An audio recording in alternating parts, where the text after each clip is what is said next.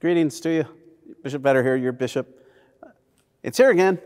Lent is right around the corner. So I want to come a little earlier here before Lent so it doesn't catch us off guard, uh, but to encourage us uh, already now to say to Jesus, Jesus, what do you want me to, for, what do you want for me this Lent?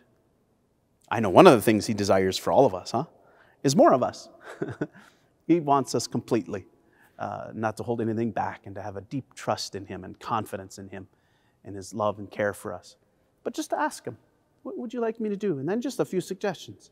One thing I've often said, uh, I think really the best thing that we can do, uh, if you want to talk concretely, you know, what, what do I do for Lent? If you're able to go to a daily Mass during the week, or maybe each day during Lent, it makes quite a difference. The readings, the sacred word, uh, Jesus himself speaking to us through Scripture, uh, is, they're so powerful for Lent uh, and the prayers. It's, it's, it's the best guide. I mean, it really is.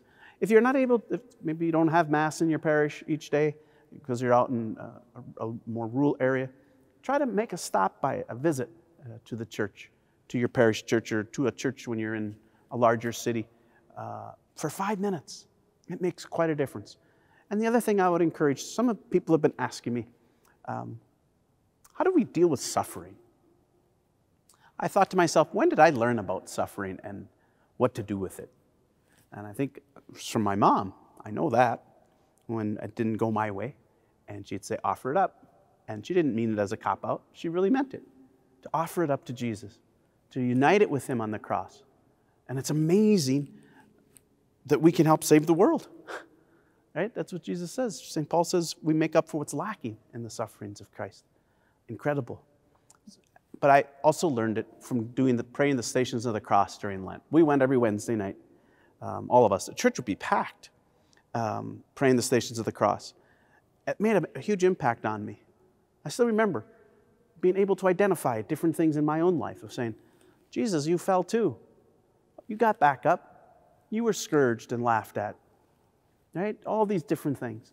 Um, and to identify with Him and He with us.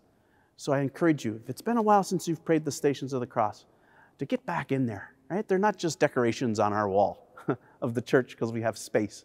Uh, I'm planning on doing it at the cathedral again this year. I did a few of them last year. Uh, I miss them, right? It's a wonderful thing to do uh, anytime, but especially during Lent. So I, I encourage you. Uh, spend a little time, see how you're going to enter Lent more deeply. It's our annual retreat to go deeper with the living God.